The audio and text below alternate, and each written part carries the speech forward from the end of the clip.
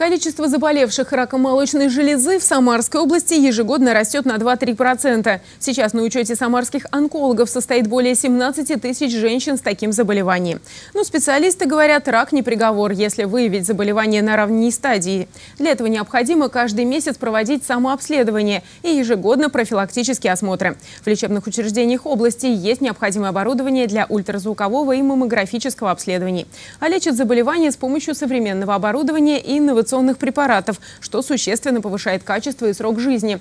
Помощь оказывают бесплатно за счет средств обязательного медицинского страхования, если у пациента есть направление из поликлиники. Кроме того, в области сейчас на средства нацпроекта здравоохранения реализуется комплексная программа по модернизации системы онкологической помощи. Переоснащаются лечебные учреждения области, создается единое информационное поле, благодаря которому врачи могут быстро обмениваться всей необходимой информацией. Например, результатами исследований. Это необходимо для для того, чтобы пациенты с онкологией получали своевременную и качественную помощь. Особое внимание первичному звену медицинской помощи области. Для того, чтобы улучшить качество ранней диагностики рака, в регионе сейчас переобучают врачей.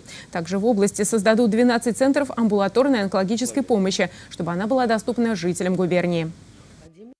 Смертность от рака молочной железы в нашем регионе меньше, чем в среднероссийской.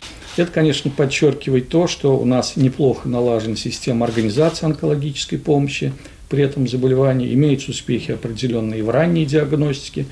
Ну и самое главное, мы, конечно, проводим эффективное современное противоопухоль лечение нужно э, заниматься профилактикой онкологических заболеваний, профилактикой тех факторов риска, которые приводят, могут приводить к развитию онкологических заболеваний. И все они укладываются в понятие формирования здорового образа жизни.